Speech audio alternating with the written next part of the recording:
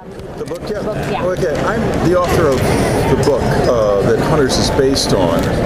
I've written, I've been an author for a long time, and I've written um, many books. Uh, the Hunger and the Wolfen, Communion, and Superstorm were all made movies made from my books, and uh, now Alien, now Hunters is made from my series Alien Hunter, and uh, it's. Uh, I just saw one of the episodes night before last that's just been finished, and I'm really very pleased. They have captured the sort of the deepest conflict in the in the books, which revolve around what is reality, who are we, and it is the fact that we can't really answer you those questions too clearly, dangerous or not.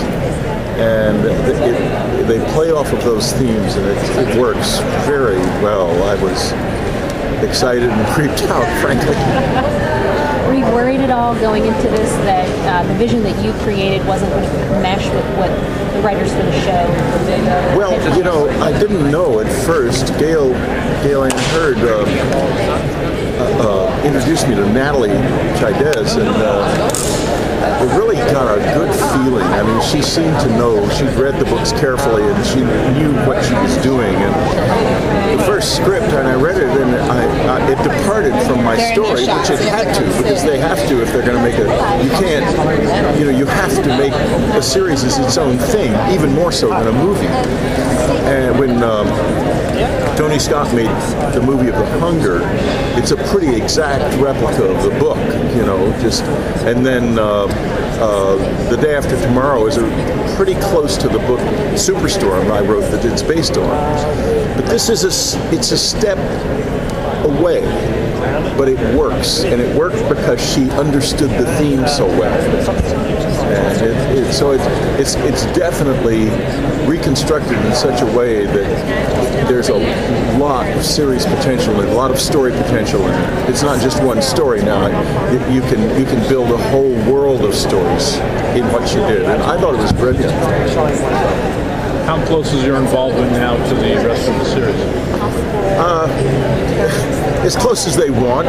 You know, I get emails every once in a while, and uh, uh, they want me to read things and comment and and see the the the, the sort of semi-finished episodes and comment, and I'm doing that. And you know, it's it's a nice feeling. I mean, I, I feel I feel involved as involved as an author can be. I mean, I've had things where you know I just sort of pushed the movie, the book into a slot and waited uh, for The Hunger, which turned out to be really close to my novel. Uh, I wasn't even invited to the press screening or the premiere or anything Of the Hunger. of The Hunger. I was just left alone in the theater in, down downtown, alone to watch the movie myself with my wife, and nobody came to say, "Do you like it or not?" or anything. When it was over, the lights sort of went up, and we left. And I thought it was a darn good movie too. I, I guess he was afraid I wouldn't like it or something. What are your memories of Tony? Thank you so much. sad. Uh, he was a wonderful guy, and he was. I would never have believed what happened. Uh, but I hadn't known him in years. I mean, obviously his life changed, and uh, uh, it was his first feature, and it was. Uh, you know, he'd come from TV and from uh, from music videos. I thought he was very brilliant and very talented, and Catherine Deneuve really loved him. She thought he was terrific, and. Um, so it worked, you know, but uh, it just so I just wonder. I often wonder what happens to people in their lives and what the mysteries are within us, and you know, then suddenly we find a person makes a decision like that, and we only that there was a mystery. So the book series is ongoing, correct? Yeah, it's the next uh, issue, the next volume in the book series is called Alien Hunters: The White House, and it's going to come out in April uh, of 2016. And I, I know a lot of people in politics, and I actually based president in it on a guy I know. He's not president of the United States, but I sent him the manuscript and he said, My God, how did you find all this stuff about us out? And I said, Oh, you, you know, your friends gossip a lot. And I'll never say who he is. I'm shocked, but it, it should be a good, it should be a lot of fun. It, it's an exciting book. And I love my character Flynn Carroll has worked for me. I really, you know, I really feel uh, a kinship with him. It's important if you're going to write fiction that your characters be within you, but also not under your control. Because if they're under your control, they're never really alive. And he definitely is not under my control, that's for sure. Do you have any concerns that your book series is ongoing, that the television series may catch up to it at all? The material Catch that you have? Or do you think. They'll, they'll, they'll inevitably be cross pollination. I hope it's good. I mean, you know, frankly, it could help the TV series could help the book series a lot. They have me writing a short story for the tie-in edition of the first volume, which of, of the Alien Hunter series, which is going to come out with the, whenever the uh, series is is goes on Syfy. So I'm sort of doing that right now. It's, it's interesting. It it goes way back to the beginning of Flynn's career as a per, you know he's a teenager in this, and it shows how he he became entangled in this before he even knew anything about what might happen in the future. Is there anything in particular you're worried about how it's going to be adapted, whether it's, you know, because of special effects budget or just in general? Ah, listen, what I've seen looks fabulous. I, I haven't seen anything. It doesn't. I don't think that. I, they must have a. I don't know anything about the budgets. You know, it's, something that I, you'd have to ask Gale about that. But uh, to my eye, the effects look really top drawer. I mean, I, what I'm seeing is a very high quality production, and that's not always the case. I mean, you know, you can have series with really, really low rent production values movies too. For that matter. I mean, look at Communion. I don't know if you ever, you ever saw that. It was horrible, a disaster. Uh, uh, but uh, you know, you get what you you get what you get once you're in the right. And I was supposedly the author of the screenplay of Communion. But as far as I can tell, they took my screenplay, paged through it, tossed it over their shoulders, and made another movie. I was wondering particularly about Communion. Is that the singular event that changed your life? You remember before and then after? It's like a sort of central event in my life, and the thing that's strange, was so annoying about it all was I wrote a book about my perceptions. I didn't write a book about experiences. There's a huge difference between those things, but I, I was warned by a friend who read it before it was published, and he said, you know, people are going to take this as claims of alien contact. And I said, but it's obviously that's not what it is. It says in the front of the book, the human mind winks back from the dark. Okay, what does that mean? It means that I don't know what happened is what it means.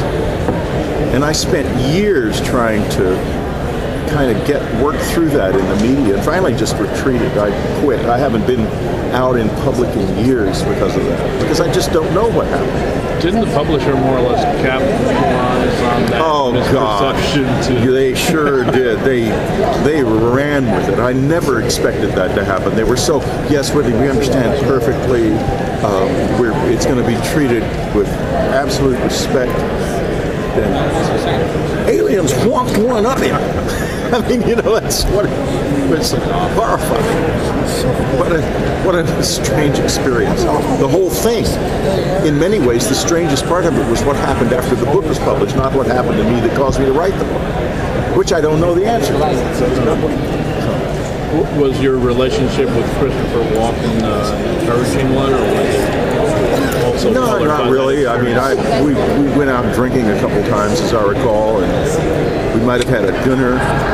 Uh, he thought I was a jerk. As I, that was my impression of him. And you know, he was a brilliant actor, but he was also something of a jerk. I thought we didn't really hit it off. We haven't talked since the movie. Is there anything in, in life that has caused you to revisit that time?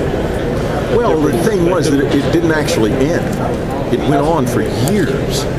And I've written a couple of books trying to cope with it. And I have a nonfiction book coming out in uh, February called Supernatural, which is a completely re-envisioning of the whole thing, written with a uh, historian of religion called Jeff Kripal, uh, who is a uh, professor of religion at Rice University.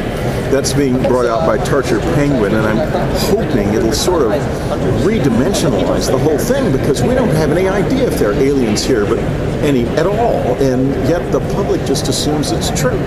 But what if it's something else? Then we're, you know, I'm sorry, when you say what if it's something else? what do you mean exactly? I don't know. I wish I could tell you. But if, if it's something else that we don't understand or haven't even articulated yet, because uh, what happened to me was an incredible ongoing experience that lasted about 10 years, during which time we got hundreds of thousands of letters from people who had had similarly weird, but fundamentally sort of sometimes quite different things happen. And you know, my wife read all these letters. She was indefatigable, and and and, and she finally said, "You know, Whitley, this has got something to do with the dead, because people would see these aliens and they'd see the ghosts and other things along with them. It was just all a very weird, supernatural thing that made me decide we actually don't know what this is yet.